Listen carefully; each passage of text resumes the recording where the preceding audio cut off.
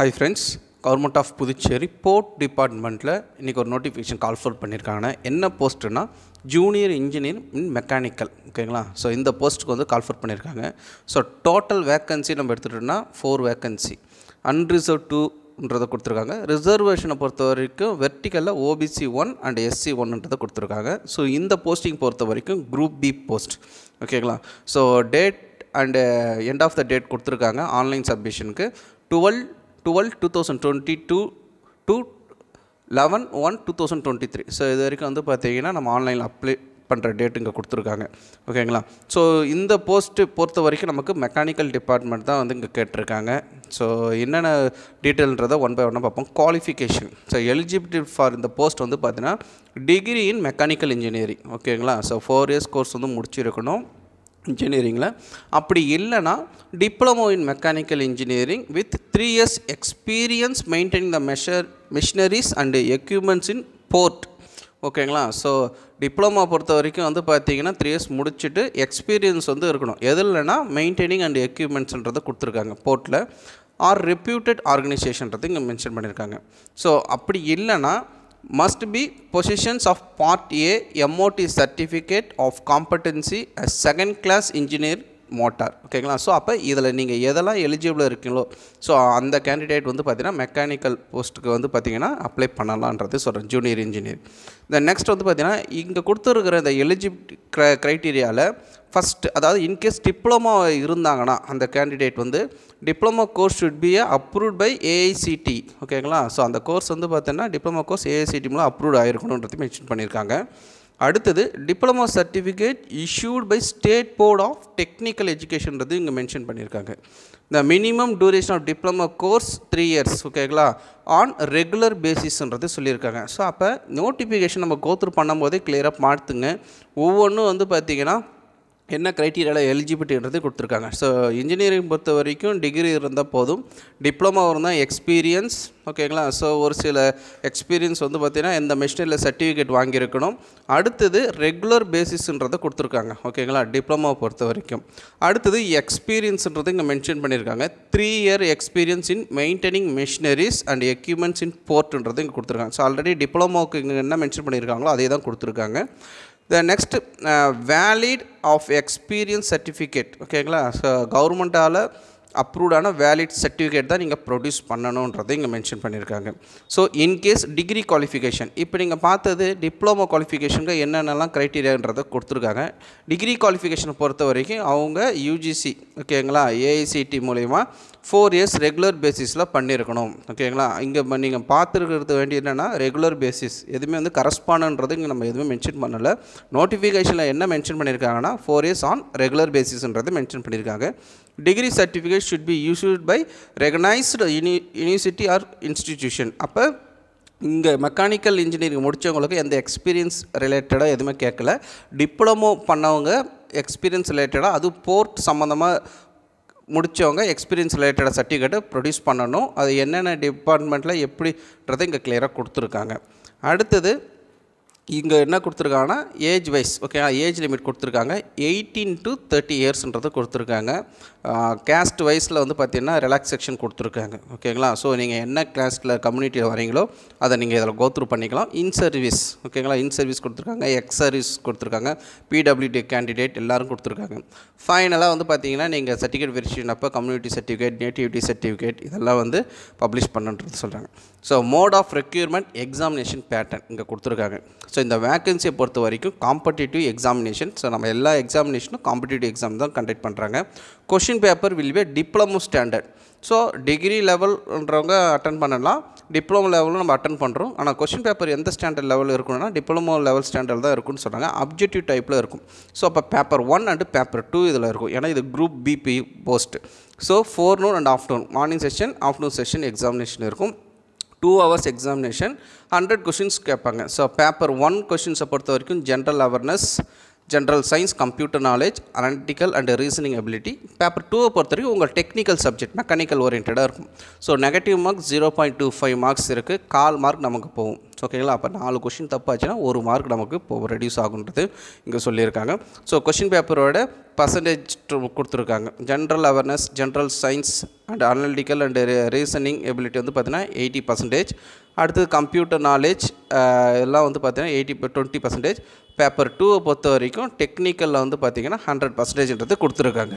Exam பொறுத்த வரைக்கும் OMR ஷீட்டில் தான் கண்டக்ட் பண்ணுவாங்க. நம்ம பிளாக் பால் பாயிண்ட் பென் தான் யூஸ் பண்ணணுன்றது இங்கே மென்ஷன் பண்ணியிருக்காங்க குவாலிஃபிகேஷன் அதாவது மினிமம் குவாலிஃபிகேஷன் மார்க்கை பொறுத்த வரைக்கும் ரிட்டம் எக்ஸாமினேஷனில் இங்கே கேஸ்ட் வைஸில் என்ன பர்சன்டேஜ்ன்றது பேப்பர் ஒன் பேப்பர் டூ வந்துட்டு இங்கே மென்ஷன் பண்ணியிருக்காங்க ஆன்சர் கே பொறுத்த வரைக்கும் நமக்கு எக்ஸாம் முடிஞ்ச உடனே அந்த ஓஎம்ஆர் ஷீட்டோட கார்பன் காப்பி நம்ம கொடுத்துருவாங்க. கீ பொறுத்த வரைக்கும் ரெக்குவயர்மெண்ட் டாட் பிஒய் டாட் ஜிஓவின் வெப்சைட்லேயும் பப்ளிஷ் பண்ணுவாங்கிறதையும் சொல்கிறாங்க சிலபஸ் இங்கே மென்ஷன் பண்ணியிருக்காங்க. பேப்பர் ஒன் பொறுத்த வரைக்கும் ஜென்ரல் அவேர்னஸில் என்னென்ன டாப்பிக்கில் இங்கே கவர் ஆகுதுன்னு கொடுத்துருக்காங்க. Current affairs Indian and world geography ஓகேங்களா ஸோ அப்போ இங்கே சிலபஸ் டீட்டெயிலாகவே கொடுத்துருக்காங்க. ஒரு சில எக்ஸாமினேஷனுக்கு சிலபஸ் வந்து ஜென்ரல் டாபிக் மட்டும் தான் கொடுத்துருப்பாங்க. ஒரு சில சில எக்ஸாமினேஷனுக்கு சிலபஸை டீட்டெயிலாகவும் கொடுத்துருக்காங்க. ஃபார் எக்ஸாம்பிள் அக்ரிகல்ச்சர் ஸோ இப்போ இந்த வேகன்சிக்கெலாம் போர் டிபார்ட்மெண்ட்லாம் வந்து பார்த்தீங்கன்னா கிளியராகவே கொடுத்துருக்காங்க. So Indian Jha Indian and world geography complete பண்ணுங்கள் culture and history in India freedom struggles Indian politics constitution Indian economy sports technological and development so அப்போ இங்கே கொடுத்துருக்க இந்த பாட்டில் இருந்தால் கொஷின்ஸ் வந்து தரவாக நீங்கள் கோ த்ரூ பண்ணிக்கலாம். ஜென்ரல் சயின்ஸ் வந்து பார்த்திங்கன்னா ஃபிசிக்ஸ் கெமிஸ்ட்ரி பயாலஜி அதாவது பாட்னி அண்ட் ஜாலஜி இவிஎஸ் என்வாயர்மெண்ட்லேருந்து கண்டிப்பாக கொஷின்ஸ்லாம் இருக்கும். இதை நீங்கள் கோ த்ரூ பண்ணுங்கள் அனலிட்டிக்கல் அண்ட் ரீசனிங் ஓகேங்களா மேத்தமெட்டிக்கல் ஆப்டிடியூட் போல் வந்து பார்த்தீங்கன்னா இங்கே கொடுத்துருக்காங்க. வெர்பல் அண்டு நான் வெர்பல் டைப்பில் கொஷின்ஸ் இருக்குன்றது இங்கே மென்ஷன் பண்ணியிருக்காங்க என்னென்னா basic numeracy number and relation orders magnitude etcetera ஓகேங்களா ஸோ இந்த கொடுத்துருக்குற இந்த க்ரைட்டீரியாவில் என்னென்ன டாபிக் கொடுத்துருக்காங்களோ அதை நீங்கள் ஆப்டிடியூட் கோத்ரூ பண்ணலாம். கம்ப்யூட்டர் நாலேஜை பொறுத்த வரைக்கும் பேசிக்காக ஹார்ட்வேர்னா என்ன சாஃப்ட்வேர்னா என்ன அடுத்து Word Excel PowerPoint and internet இதை பற்றி நீங்கள் பேசிக்காக தெரிஞ்சு வச்சுக்கலாம். பேப்பர் டூவை பொறுத்த வரைக்கும் டெக்னிக்கல் நாலேஜ் அதாவது மெக்கானிக்கல் டிபார்ட்மெண்ட் ஓரியன்டான கொஷின்ஸ் இருக்கும். ஆனால் question paper level diploma standard லெவலில் தான் இருக்குன்றதையும் சொல்லியிருக்காங்க.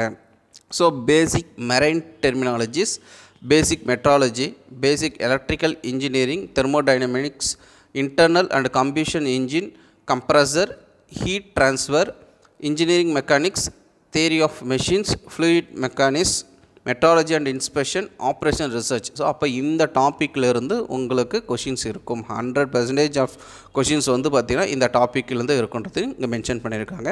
ஸோ இங்கே கொடுத்துருக்கிற இந்த சிலபஸ் படி நீங்கள் கோத்ரூ பண்ணுங்கள் டேட் அண்ட் வென்யூ எக்ஸாமினேஷன் வெப்சைட்லேயும் பப்ளிஷ் பண்ணுவாங்க எப்போன்றது. ஸோ ஒன் பை ஒன்னாக எக்ஸாம் கண்டக்ட் நோட்டிஃபிகேஷன் வந்துட்டுருக்கு. ஸோ அந்த ப்ரொசீஜர் படி தான் எக்ஸாம் இருக்கும். இப்போ வந்து லாஸ்ட்டாக கேட்டிருக்க நோட்டிஃபிகேஷன் இந்த போர் டிபார்ட்மெண்ட்டில் ஜூனியர் இன்ஜினியர் மெக்கானிக்கல் தான் கேட்டிருக்காங்க. ஸோ அப்போ இந்த போஸ்டிங் தான் கடைசி எக்ஸாம் இருக்கும். இதுக்கப்புறம் அடுத்தடுத்த வேக்கன்சி கால் ஃபோன் பண்ணும்போது அதுக்கேற்ற போலே வந்து பார்த்திங்கன்னா அந்த எக்ஸாம் டேட்டு மாறுன்றதை நம்ம சொல்கிறோம் ஸோ டேட் அப்ளை பண்ணுற டேட் எல்லாம் கொடுத்துருக்காங்க. ஸோ நம்ம எப்படி அப்ளை பண்ணணுன்றதையும் இங்கே மென்ஷன் பண்ணியிருக்காங்க. ஆல்ரெடி நம்மளோட சேனலில் எப்படி நம்ம அப்ளை பண்ணணுன்றது சொல்லிகிட்டு இருக்கோம்.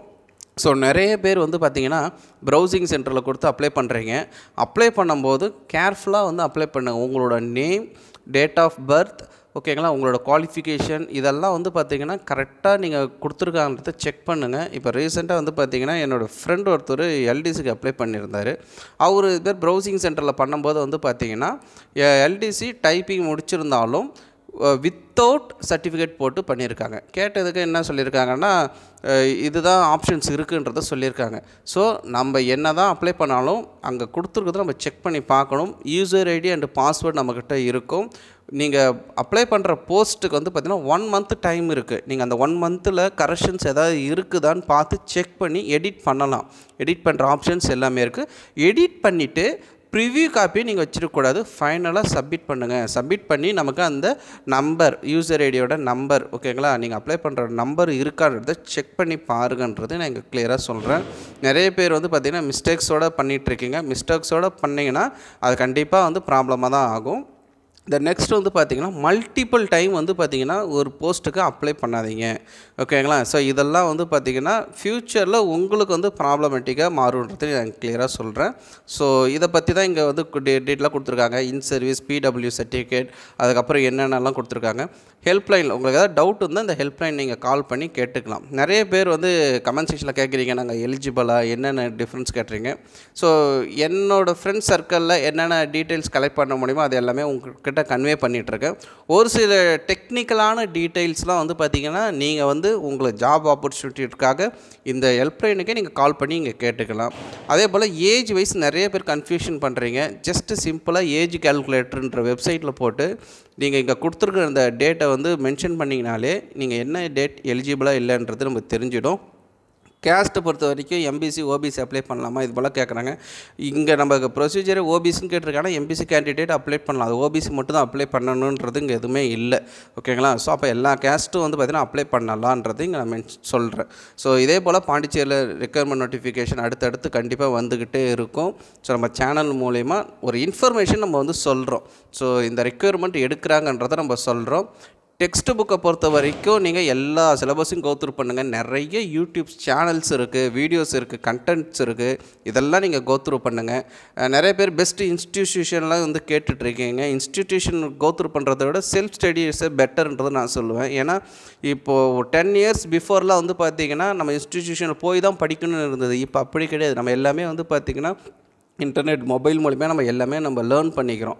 இப்போ நீங்கள் என்ன டாபிக் படிக்கிறீங்களோ அந்த டாபிக் போய் கொடுத்தீங்கன்னா அதுக்கு செவரல் வீடியோஸ் வந்து பார்த்தீங்க யூடியூப்லேயே இருக்குது நீங்கள் அதை வச்சு கோத்ரூ பண்ணலாம் நோட்ஸ் எடுக்கலாம். ஆன்லைனில் நிறைய டெஸ்ட் ப்ராக்டிஸ் பண்ணி பார்க்கலாம். ஸோ இப்படிலாம் நீங்கள் கோத்ரூ பண்ணிங்கன்னா டெஃபினட்டாக மார்க்ஸ் ஸ்கோர் பண்ண முடியுன்றது நான் இங்கே சொல்கிறேன் தேங்க்யூ